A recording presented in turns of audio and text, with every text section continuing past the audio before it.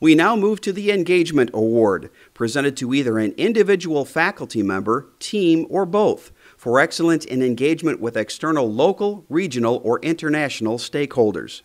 This year's Engagement Award goes to Steven Collicott, Professor, School of Aeronautics and Astronautics.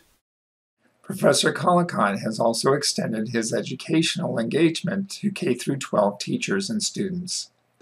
A recent New York Times article relates the story of how a second grader's question posed to Professor Collicott led to her class flying and an experiment on a suborbital flight by Blue Origin. Since then, he's developed the Purdue School Launch Box to provide a low-cost, lightweight, launch-ready payload box for K through 12 payloads on Blue Origin suborbital flights.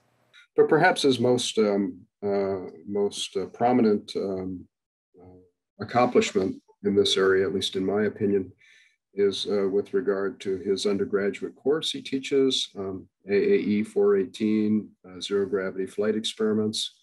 Uh, he's been teaching this course for decades um, and is a you know singular um, most prominent university uh, present uh, in this area in building uh, flight experiments uh, for suborbital opportunities. And to date, he's flown over 20 different uh, flight experiments. Our students in this class have flown over 20 different flight experiments uh, with firms such as Blue Origin, Masten Aerospace, Virgin Galactic, Exos, and Up Aerospace.